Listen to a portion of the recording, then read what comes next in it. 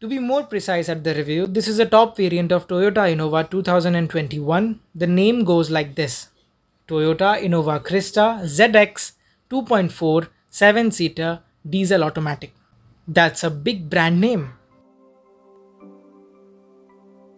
Let's clear the fog out and see the Toyota in its full glory, shall we? The first and foremost comes the engine and transmission. The Toyota Innova comes with a dual overhead camshaft engine with 4 inline cylinders, each cylinder having 4 valves with the engine displacement of 2393 cc. That's a great displacement. The engine type is GD technology of Toyota. The fuel type is diesel and the max power this car generates is 148 bhp at 3400 rpm and the max torque it generates is 360 newton meter at 1400 rpm the drivetrain is rear wheel drive. The transmission is automatic 6 gear torque converter with manual override and sport mode. It's a turbocharged bs6 compliant engine. Toyota has also updated the color scheme. You can check it out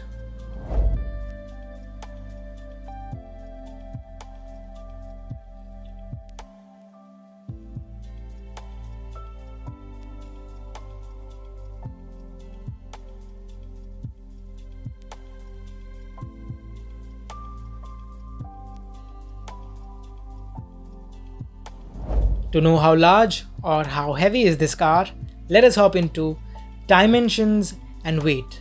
The length is about 4.7 meter, the width is about 1.8 meter, the height is about 1.7 meter, the wheelbase is about 2.7 meter, and the curb weight is 1920 kgs, a lot more kgs than the lower variants of this car. It has 5 doors, it has 7 seats for 7 person, there are 3 rows in the car and the maximum fuel capacity is 55 liters. But bro, whenever I travel in Innova, I feel nauseous and India is a hot country bro. We need air condition and there are the wait, seats wait. good. The air condition is good. There is single zone, common fan speed control. There are vents on the roof. There is anti-glare mirror. There is reverse parking camera. There is front and rear parking sensors.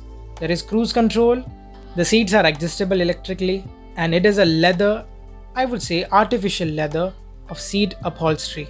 The steering wheel is wrapped in leather and interior comes with dual tone finishing. Oi Puttar, what about safety? Kids nowadays drive so fast, I'm so worried about them. No tension, there is safety because there is 7 airbags in this car.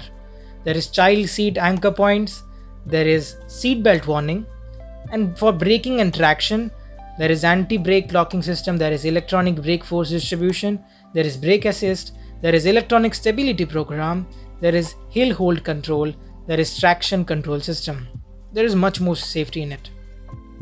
The overall feature and comfort of this car, it has a beige interior, it has ambient lighting, it has digital instrument cluster, it has Android Auto, Apple CarPlay, it has good music system like Bose.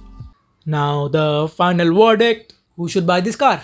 Now, if you hate kids and if you want to shove your kids down to the third row, you can definitely do that because the seating space in the third row is so compact there. No man, no man, woman can see it. Only aliens can see it who have no legs. All right.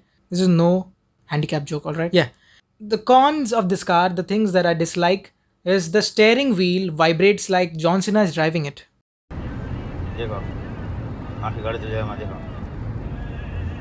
And if you want to have a car with a Jugadu perspective of making, then this is the car for you.